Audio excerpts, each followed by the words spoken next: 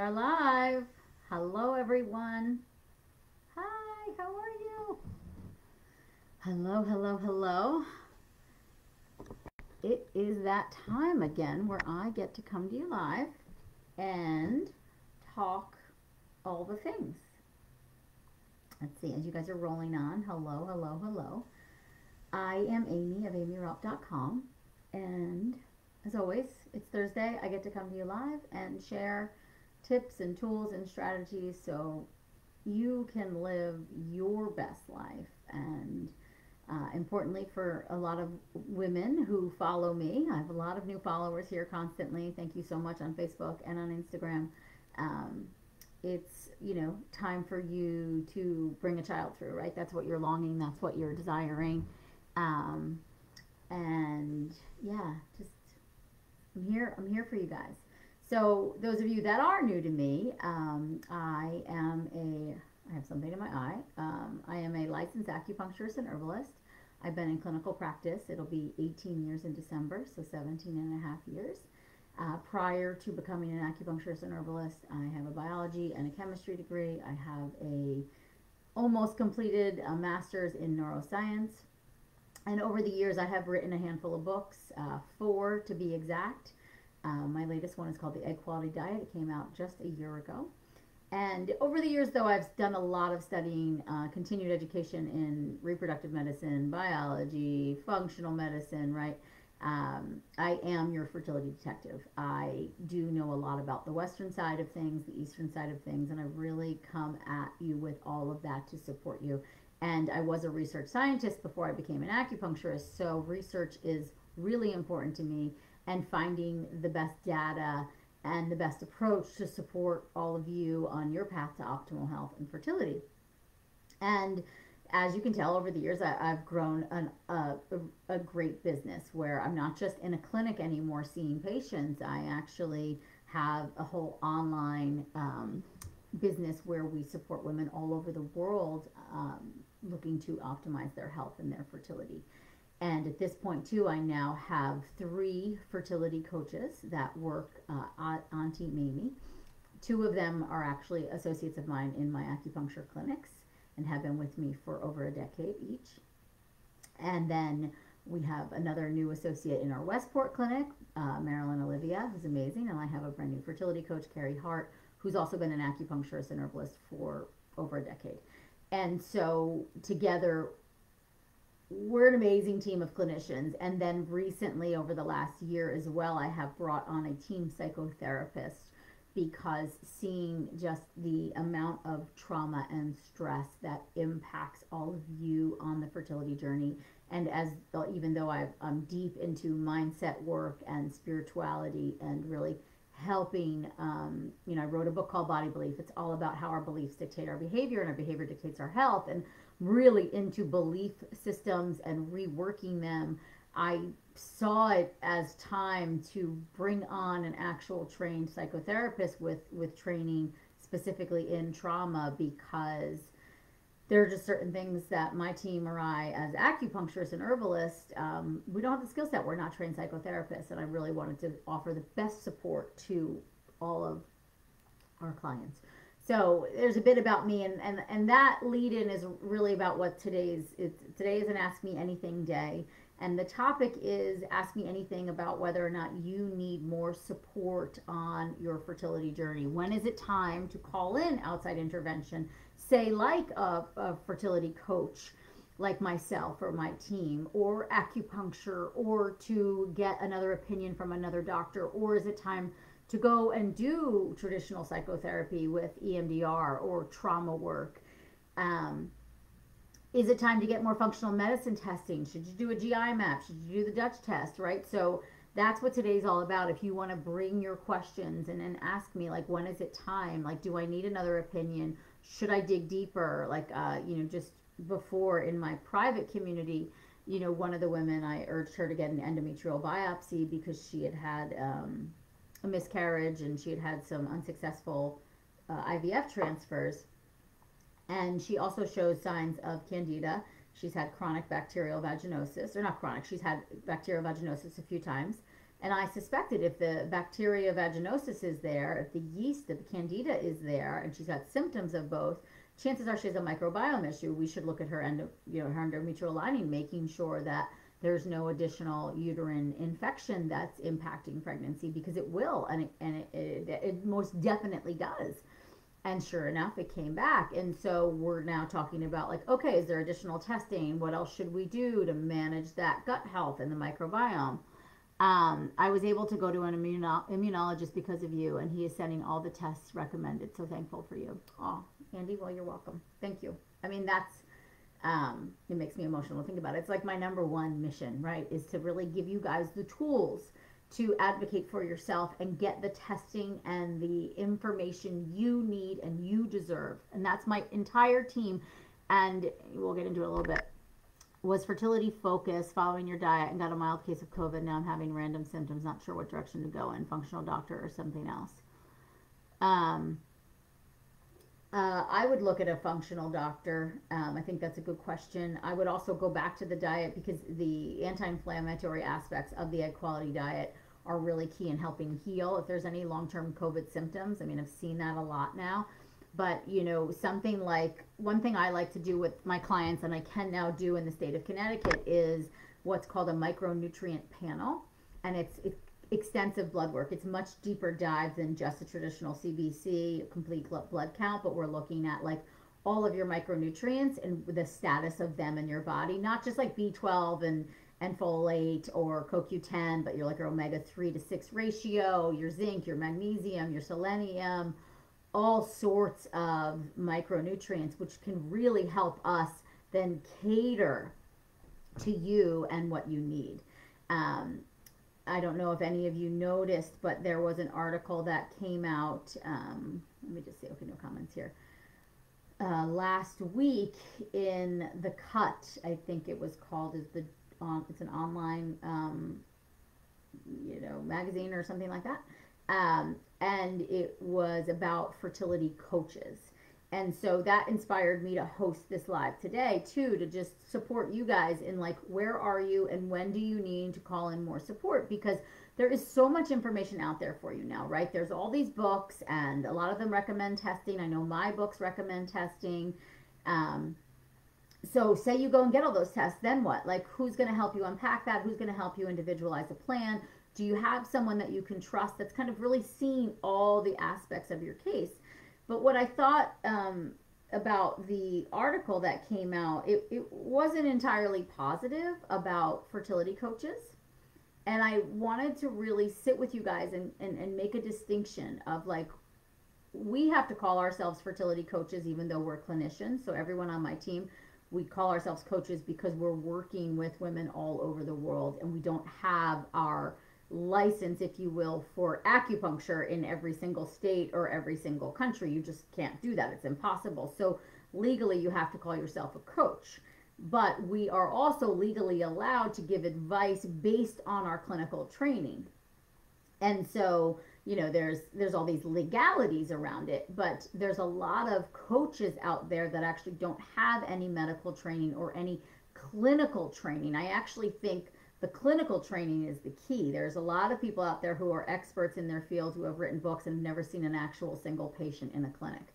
You know, at, at the height of my acupuncture clinic, I was seeing upwards of 60 to 80 patients a week, a week for a decade. So you do the math. I mean, I saw thousands of patients, and so have all of the associates and coaches that work on Team Aimee. And that's a huge piece to me because – that's how we really learn. We're, we're in the dirt with you guys. I get to see a hundred different lab results and a hundred different thyroid results and a hundred thousand different transfers and what worked and what didn't. What tested this doctor do? What tested this doctor not do? Um, you know, to, to really then bring to you this like full clinical picture of how to best support you on your journey. And this article in the cut was really pointing out that there's a lot of coaches out there charging a good amount of money. I'm not going to say I'm cheap because I'm not, but I do feel like I've earned it. I, you know, 20 years of clinical experience, four four books, thousands of pregnancies under my belt. Um, I feel like I've earned it. My coaches are less expensive, and we do that on on purpose because they're, you know, they come to me and you know we're trying to make a price point that's to you guys but there are people out there that are charging a good amount of money for fertility coaching that have zero clinical experience that have zero medical training that maybe have personal experience with fertility journey which i think is a beautiful way to support your peers. But for you all to know what are you getting? Who is this person? How were they trained? Is this a peer-to-peer relationship she going to be able to hold space for me knowing how difficult the fertility journey is because she's seen it she's been through it? But i also mentioned that girls on my team we're in there with you. We we know the journey as well which i think is something really important even as clinicians to, to share. Um, versus is this someone with clinical experience who has seen thousands of patients and can really help identify what are the missing pieces to my case right?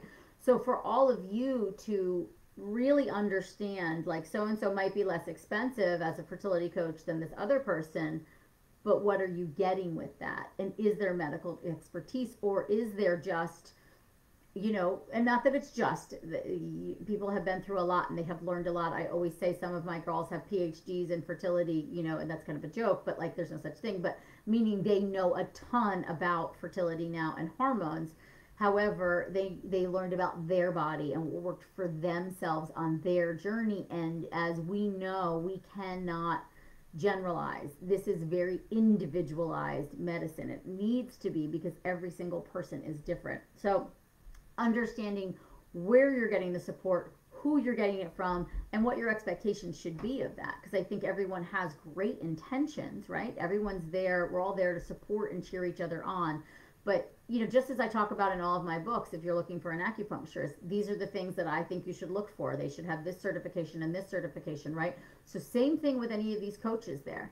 How often do you recommend acupuncture during follicular phase to improve egg quality? Do you recommend acupuncture during menstrual phase as well? Um, I usually will recommend, I mean, acupuncture once a week, I think is a great addition to anybody's life. For some people, that can be cost or time prohibitive. So, ideally, even just twice a month, I think is amazing. Once during follicular phase, kind of around leading up to ovulation, and then once during luteal phase to help things hold and stick if we're trying to conceive. If we're preparing for um, an IVF or a retrieval, I like to see them at least two times during the stim phase, so during the follicular phase typically um, unless the period is very painful or uncomfortable or you get a migraine or something like that with your period uh, we I don't do acupuncture on that on the heavy days of a menstrual period but sometimes it falls that way and it's perfectly fine. It's not a negative thing but I'm always very um, something I'm working on. I'm very protective of how you all spend your money and your time and that's really not my business. So in an ideal situation you're getting acupuncture every single week and we change it based on where you are in your cycle. Um, if that's too much for your life and in your time frame and, and your uh, purse, then every other week I think is is phenomenal to get done. Let me see. Okay, there's some comments here on how the heck do I see the comments? Okay, I was recently diagnosed. Oh, um, let's see. Okay, yeah, the Q and A is about knowing what outside experts we need. Um, let's see. Okay, so yeah, but th- I think this is a good case, a good question though, Tanya, that I can use as a driving point. So like, um, Dr. Durbala. So I just heard about Dr. Durbala, and we're putting him on our referral page, which is really just an inside page, but it's for all of our people. Um, my B12 is abnormally elevated, so start taking my prenatal? So this is like this is where I would say you would be a great candidate for working with a coach like someone on my team because a lot of us we not all of us have the functional medicine training but we understand functional medicine. We've been dealing with supplements for a very long time. We've been looking at labs for a very long time. So we we can help unpack this for patients which i think is so important because what we see all the time when people come to us either in the clinic or online they are taking way too many supplements and they are not getting the most benefit out of them because they're kind of inundating their body with more than what they actually need.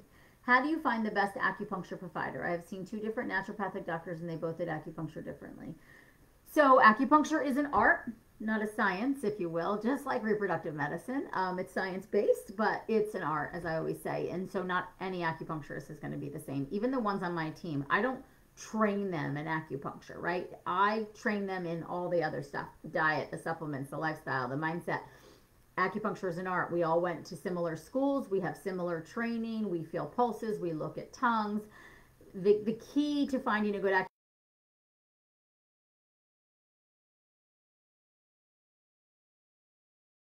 picture not just stick needles in you um, and leave the room. I want someone who's looking at your diet, someone who's talking to you about supplements, someone who's talking to you about lifestyle, someone who's feeling your pulses, looking at your tongue, where you leave feeling very nourished and supported. That's really important. So, a lot of times that means asking friends, like, who did you have a good experience with? Or, you know, now every town has those like Facebook pages, like asking on there of like any recommendations for a good Chinese medicine practitioner I do like to see that they have um, the NCC AOM degree. I'd love them to be herbalists. I do think acupuncturists that also are practicing herbalists are just a little more fine tuned. Uh, I thank you, uh, my team. That is true. I also have a blog post on this, and I also touch upon this in all of my books. So, um, but I think that's a good question for here too, because a lot of people wonder like should i call an acupuncture? Is it a really important piece to the fertility puzzle?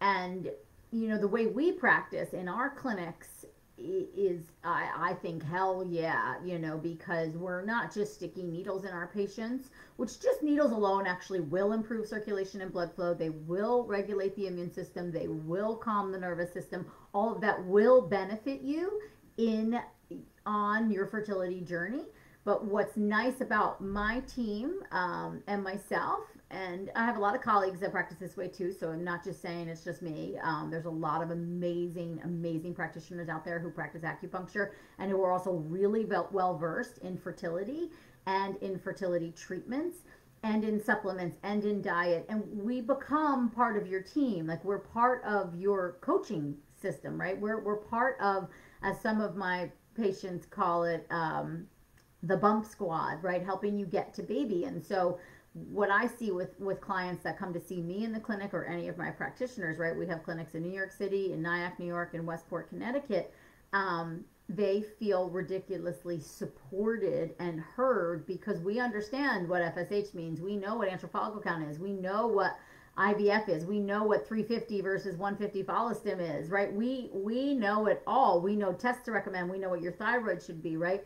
That's the kind of additional care that you need and deserve. I see so many times I see women that come to me and they're completely overwhelmed. They don't know the right questions to ask their doctor. They don't know if their thyroid should be supported or should not be supported. They don't know who to believe. Should I be taking a prenatal with folic acid or with methylfolate? Should I should I be on extra B12? How much fish oil should I be taking? Do I really need fish oil? People are talking about mercury, right? You need someone to help you navigate all that because it's completely overwhelming. There are a lot of women out there that are self-starters and can get some books and download that information that way and make their own plan. But most people need extra support. And so, in my opinion, when you call in an acupuncturist, ideally they're also an herbalist and they're also well versed in the world of fertility. There is an additional certification that a lot of acupuncturists can get. It's called the ABORM, A B O R M. Ironically, I do not have the certification, but um, I, I, very much am in support of it. I just never have gotten around to taking the test uh, because it's always offered a, anyway, it's a long story, but um, uh, ABORM certification does show you that the acupuncturist you're working with is very well versed in the field of fertility and reproductive medicine. Um, I thought I saw. Um, okay. A new acupuncturist talking about DNA fragmentation. Is that legit? It is very legit, the DNA fragmentation. I will say, though, it is an added cost. And the results, if they come back that the sperm is fragmented, the the support is still the same. So if you go and if you have a copy of my book, The Egg Quality Diet, you have then access to the resources page that comes with that book, which I have volumes of information on that resources page, including the Healthy Daddy Diet and the supplements. I have a whole video and then a supplements and da da da da that go. If you are suspecting like deeper underlying sperm issues that are causing the fertility challenges, which there very well could be, as there usually are, just get your guy on the healthy daddy diet and those supplements that I talk about in there. So, you know, if you don't have the egg quality diet, go out and spend the 17 bucks on the egg quality diet and get access to that resources page because it's literally thousands of dollars of information just all in there and again based on almost 20 years of clinical experience and and knowing that like Aimee works with fertility doctors. Aimee has mutual respect with multiple different fertility doctors who look to her who eh, you know appreciate her work. And so understanding that i have definitely done my research and i have definitely seen this is the diet these are the supplements these are the most important things to do for improving sperm health. So whether or not you get that dna fragmentation test done um, you could also just assume like okay i'm just going to put him on this plan for the next three months and let's just see you know because that that alone could do it. Some people need the test because they need the results and they want to see that they improve. Other people they don't necessarily need it. In my opinion if you're trying to make a baby you really have to think about sperm health too. So your man if you're in a, a heterosexual relationship should be it, the minimum taking the supplements but ideally also following the diet with you and supporting you in that in that capacity um, okay, let's see any more questions. So again, we're talking about when is the right time for me to get more support? Um, how do I decipher if I need more support? How to decipher if this is the right coach for me, right? Um, or the right clinician or the right test for me to get done. And, and again, you know, touching upon this article that came out in the cut last week talking about fertility coaches and that you know i think the biggest thing for us to take away just like we know with doctors just like we know with reproductive endocrinologists not everyone is the same and not everyone has the same level of experience right? So not every re has experience with recurrent pregnancy loss and they might not see the need for doing a complete clotting factor panel or you know looking at immunological factors that are impacting your ability to get and stay pregnant. So for you to just kind of like take that all in of like who's the right fit for me? What am i hoping to get out of this?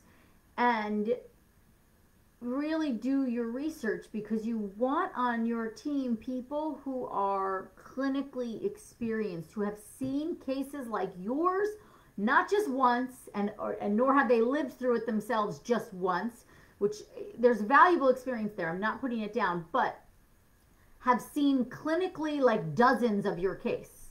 And know like oh you need to go into this category. Oh you need to go into this category right?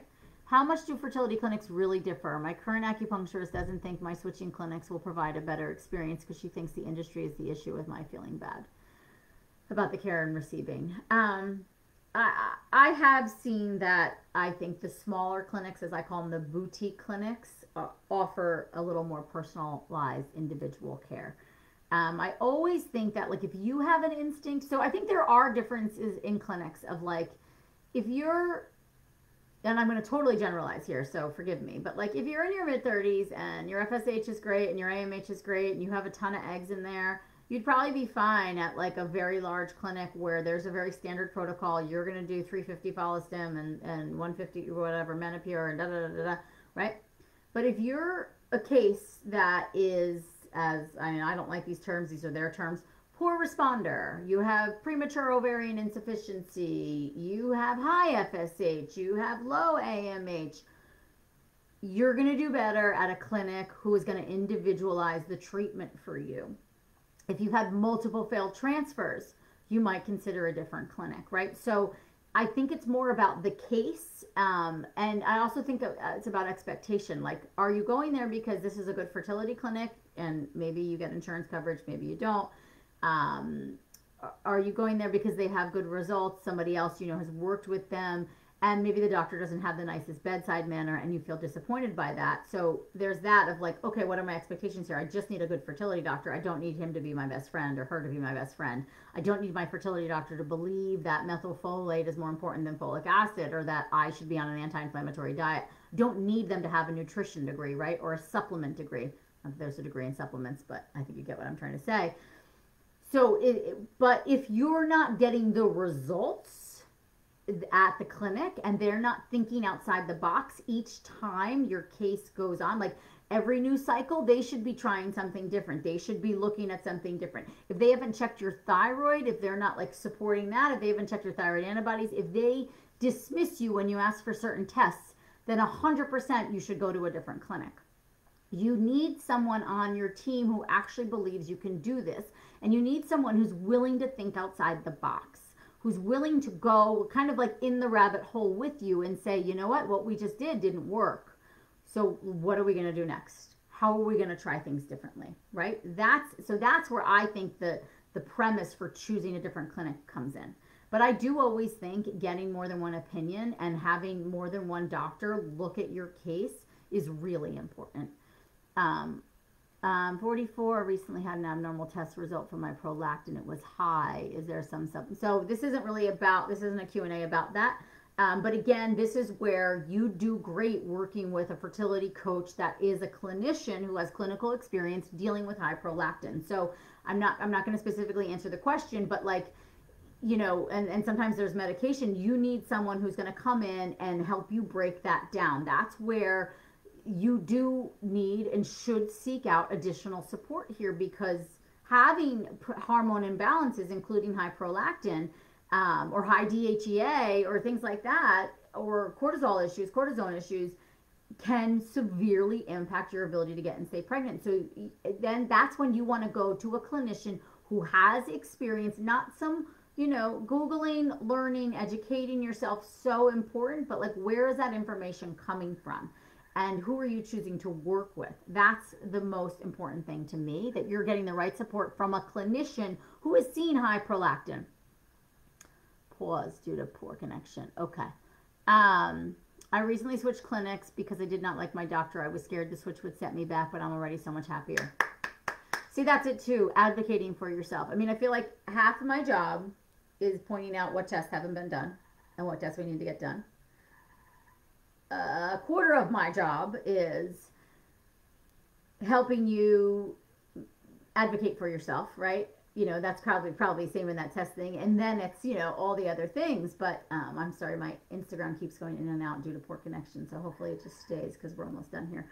Um, but yeah, good for you for advocating for yourself. Um, so again, um, Peterson 0430. This isn't really a question for that. So that's, you know, again, where having more support on your team is, is I shouldn't say this, for this Q&A, that's not really a specific question, but it does tell me that it's, I know there's an expense. Like I know my coaches, I think they're 325 for a 60 minute session, right? But you get a really decent breakdown and a follow up of like your next steps and a plan to spend that 300 bucks i know is a big expense for for so many people and i'm not saying that you should haphazardly ever throw money around but to get quality care and guidance and support on your journey from clinicians who have been doing this for multiple decades who have seen thousands of patients is invaluable. Instead of trying to piece it all together yourself which can be completely overwhelming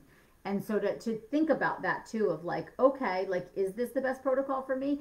We can go down you know onto all the google forums and you're going to see individual responses because each woman is going to have a different reaction to that cycle right? And so instead of though actually seeing a clinician that has seen 10 different women on that same cycle and can tell you like this is what i usually see this is what i don't see or have you tried that before? Maybe this is the right approach, right? Because it, it's, but then there's also the piece too of like, if you don't want to go and hire extra support and you really do just want the answer, ask yourself this question too Do I trust my doctor?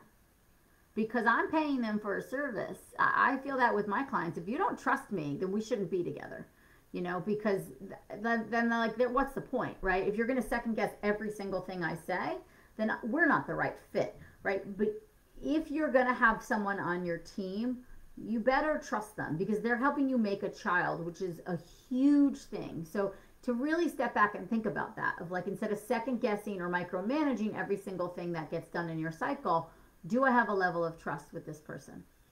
And I also will say I understand how traumatic and painful this process is and how hard it is to rebuild trust in something that you know the situation hasn't been working out well for you so far. So I, I i understand that side of it but i want you to have on your team on your side people that you trust that you respect that you admire that you think are smart that you know have your back. Really important.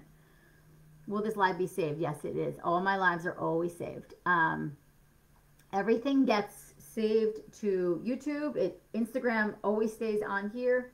So yes, we have your back. Okay. Um, oh, Anna, I hope that was helpful. You are welcome. Okay. So let me just see. Um, uh, okay.